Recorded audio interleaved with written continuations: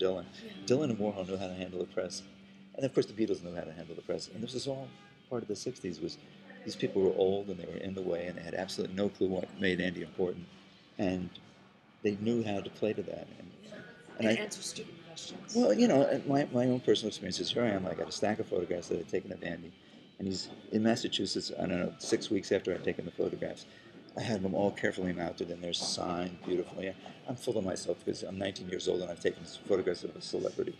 And of course, most of the photographs weren't that good, but some of them were, but most of them weren't. And I give them to Andy, and he shuffles. I'm going through them, and he's pretending. And he's being nice. He's pretending he cares. He clearly doesn't. He's sort of looking over the photographs and glancing at, wow, Ron, these are terrific. These are terrific. And there's a bunch of guys from the press asking him really stupid questions. You know, like why are, they're still asking him at this point, why are soup cans art? You know, crap like that. And he's getting really bored with it.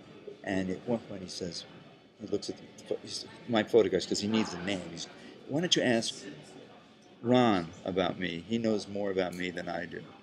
So the guy says to me, How long have you been working for Andy Warhol? I was 19 years old. I said, 15 years.